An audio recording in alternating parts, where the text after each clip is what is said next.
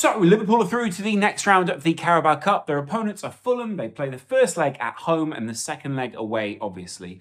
Um, it's an interesting game, though, and there is so much to cover from what happened against West Ham. So much crossover between Manchester United game and the West Ham game, so much crossover between the Liverpool squad depth thing and the amount of shots thing and the youth thing and the experience thing and the shape thing and the pressure thing and the belief thing and all these kind of things. We can cover all of that in this video. If you are a Liverpool fan or just a fan of football in general, then stick around on the channel. And if you want, you can hit the subscribe button. We're going for 85k. We weirdly hit it the other day and then I guess we just didn't please some people. Uh, let's talk about Curtis Jones first up, and indeed that kind of tandem with Harvey Elliott, and then that what's a try them? Tri- what is three? Anyway, there were three people sitting behind Darwin Nunez, and even then, there were probably more people just piling forward for Liverpool. And the shape looked so attacking. The shape was def- definitely very much on the front foot, similar to the way that they played Manchester United. But the difference with a team like West Ham is that I think West Ham match up quite well, matchup wise and shape wise, to someone like West Ham. And West Ham also didn't choose to sit deep in this game, so it made Liverpool's life a lot easier. Although Liverpool also kind of sucked West Ham into it, Manchester United maintained a lot more of their discipline and maintaining an extremely deep low block. And when I say extremely deep, I mean like the deepest I've seen anyone play this season against Liverpool. And Liverpool clearly looked a little bit frustrated after this one. They clearly looked like they wanted to prove something, and also they clearly looked like they quickly wanted to move on and prove that they aren't going to get stuck in a one game kind of uh, paradigm and make a whole season based on one thing. Really not what a football team is on. Really, probably not what most Liverpool fans are on. And weirdly, after that Manchester United game, this was exactly the kind of game that you would want when going into a game like this one against Arsenal. Liverpool in the last match, of course, set themselves up with a number of long shots, probably a lot of speculative efforts, and they absolutely dominated the first 20 to 25, probably even 30 minutes in the game against West Ham, limiting West Ham to very few counter attacks. Jarell Quansah and I think it was Verge at the back, right?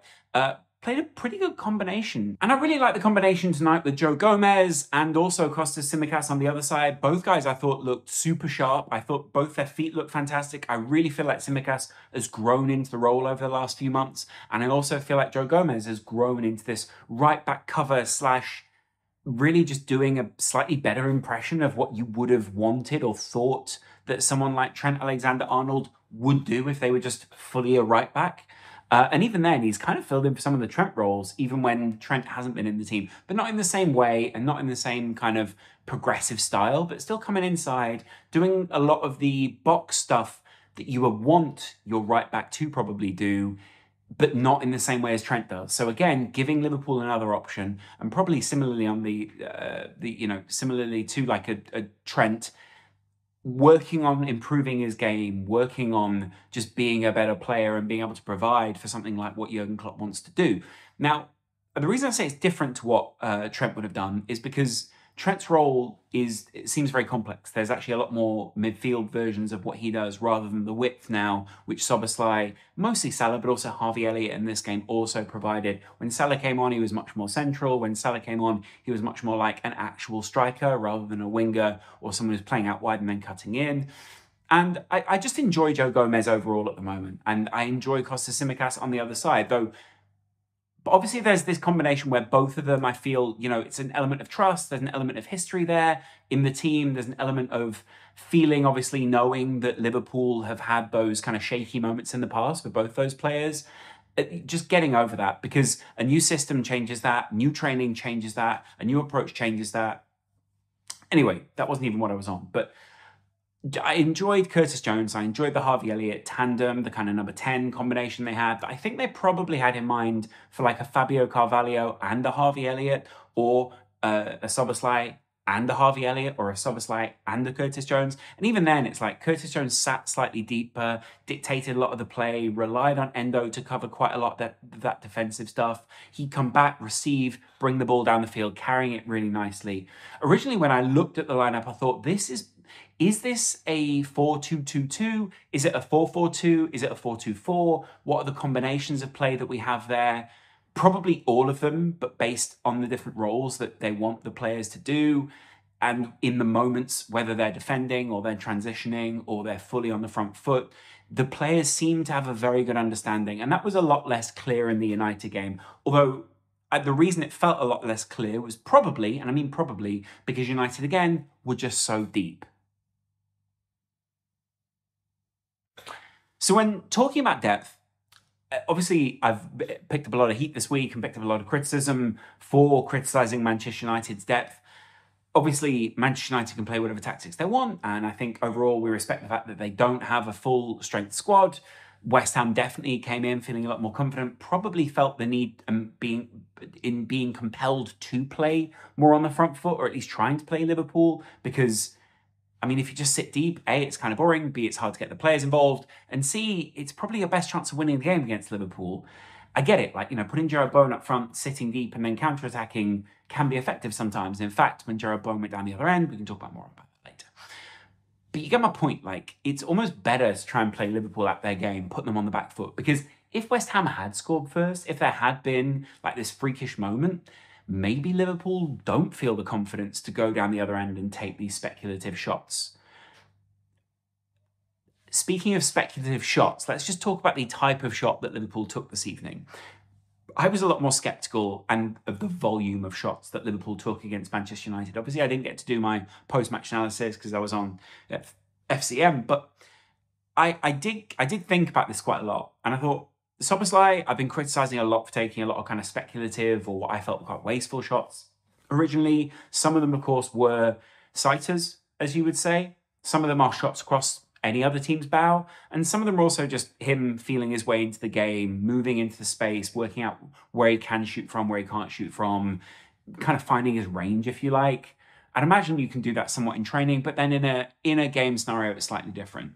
And this evening, when he stepped onto the ball, when he struck through it, when he kind of had that similar to what I've been saying actually, Ronaldo's uh, Ronaldo's kind of technique or the Ronaldo look in the shot, it's the fluidity, it's the smoothness, it's the uniqueness in the technique that Szoboszlai has. Jamie Carragher kind of called that out as well. Don't forget where you heard it first, by the way, guys. Just saying. Just saying. Uh, of course, if you then go further than that, you can obviously see his impact on this game. I thought he was fantastic at winning the ball back. I think he was fantastic initiating the press and the pressure in certain parts of the field. And it feels, even though there are a number of players getting touches on the ball, like Szoboszlai is one of the driving flotilla effect forces that push Liverpool forward and put them on the front foot rather than on the back foot. He's very good at transitioning play instantly from picking it up to it going the other way. Similar to Harvey, similar to Curtis, similar to Endo. Liverpool looking to get it from end to end as fast as possible. And all four of those players were able to ram the midfield this evening, make it very difficult for West Ham to play through it, win it back very quickly, and push down the other end. So I've highlighted Curtis Jones, basically the entirety of the midfield, the two fullbacks so far. And I don't feel like we've really had shout out Kelleher, mainly because he didn't have a lot to do tonight. But the moments where he was involved, a few moments where I felt there were some sloppy passes again, a couple of overhit passes, trying to work out where those come from. Probably just a willingness to get forward. But overall, I felt that Kelleher and Liverpool in general were better in their control of the pass, better in their control and the weighting of the pass at least there were a couple of times where I thought, why are we kind of playing our way into trouble here? Why are we allowing ourselves to be pressed by West Ham in this way? But again, trust your goalkeeper, trust your back line. And even when they rotated Konate on and they put Quansah over to the other side, and there wasn't the same assuredness that you would get with the Van Dijk, it still was just a very simple kind of formality that Liverpool going through. And I didn't mind it so much, if I'm quite honest. Um, Going into that kind of strikery area now, there have been a lot of questions over Gakpo, but also Darwin Nunez. It, they both started, which is why I kind of thought, is it a 4-2-2-2? Is it a 4-4-2? Is it a 4-2-4? What is it? What I love about uh, Cody Gakpo is he can go deep. He can become that striker type. He can be that transitional player that brings it up. He did that a lot in Holland. He did that a lot before he arrived at Liverpool of kind of picking the ball up, driving in, bringing other people into play. I love that from him.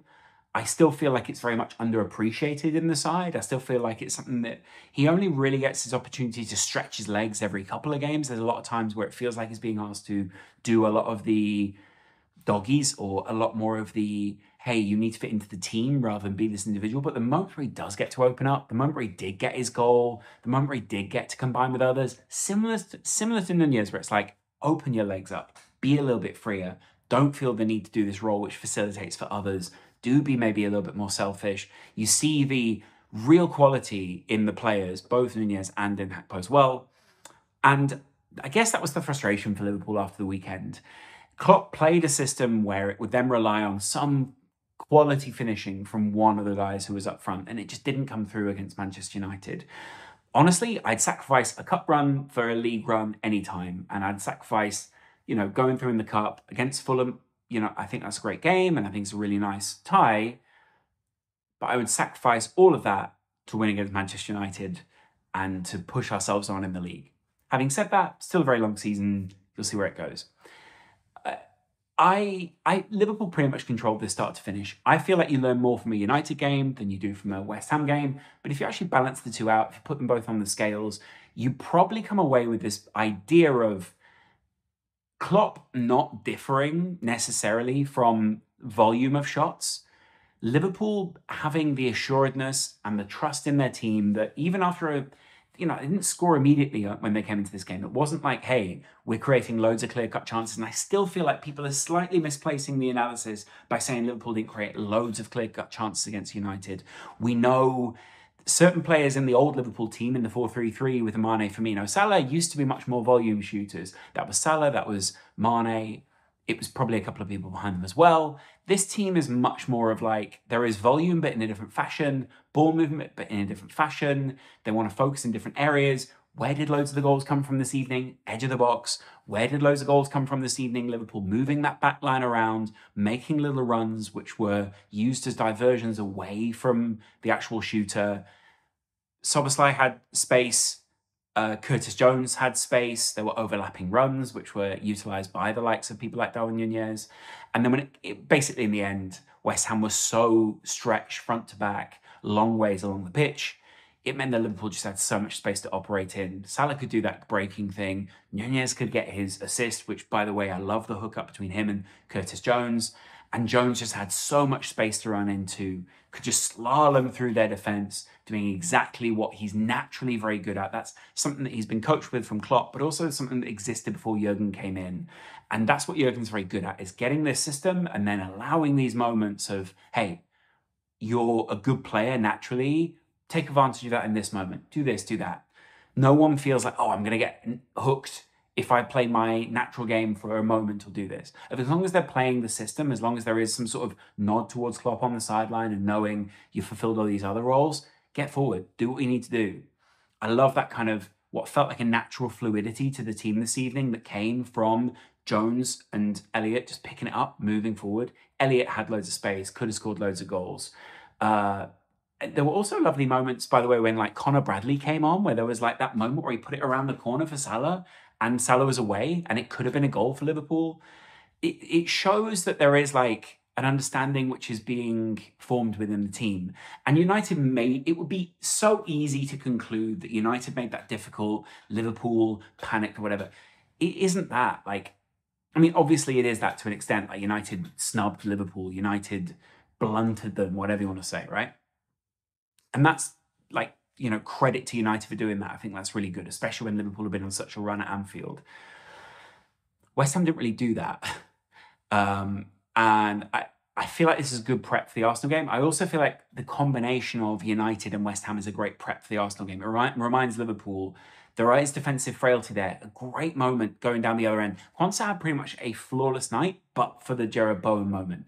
Loads of moments where he felt like more of a wall, where it felt like if there was a through ball, he read it, he picked it up. That's not always been the case in that Liverpool backline. Sometimes there have been moments where it felt like they've been caught out. Smart bits of play get around them. Cute ideas seem to catch them out in some weird fashion, and someone suddenly through, and everyone's on recovery runs. Very few recovery runs this evening for Liverpool. Very few times where they felt like they needed to kind of, um, oh, wow, they got us.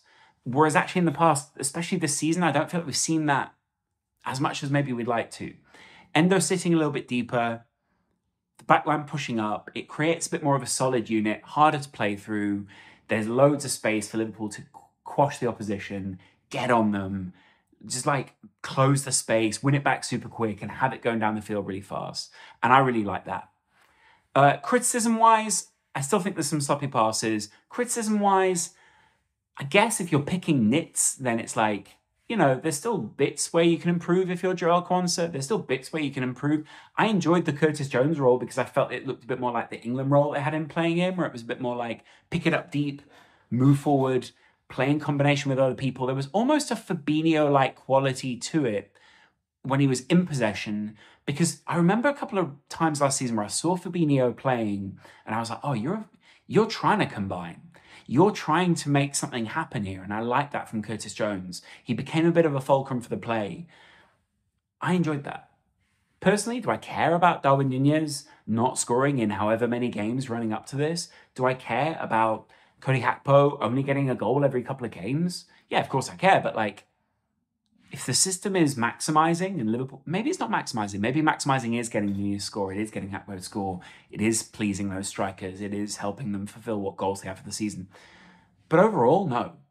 Like, we were only made to question that because United sat so deep, because they were so conservative, because they didn't come to win, etc., etc., etc. Anyway, I'd love to know your thoughts on the game. Let me know.